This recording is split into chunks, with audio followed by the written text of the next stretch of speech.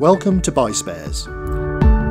In this video we'll be showing you how to remove and replace a faulty steam cleaner safety cap. Important, before replacing a part in any electrical appliance, you must ensure that the appliance is first disconnected from the mains. Safety caps are designed to not allow you to open the cleaner when it is hot to prevent injury. Removal can be very difficult if it fails.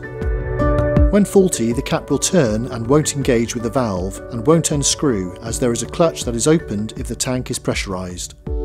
This valve can get blocked with corrosion or limescale, preventing it being removed. If jammed, it may be necessary to break the top of the cap by striking the cap with a sideways blow.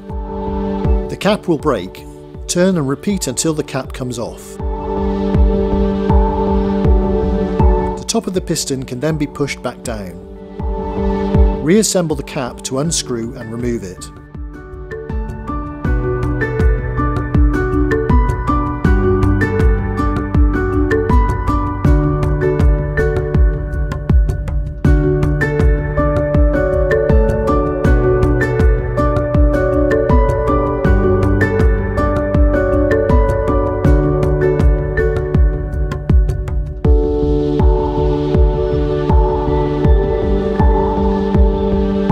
It is recommended to replace the cap with a new one if it is jammed, as it is likely to stick again.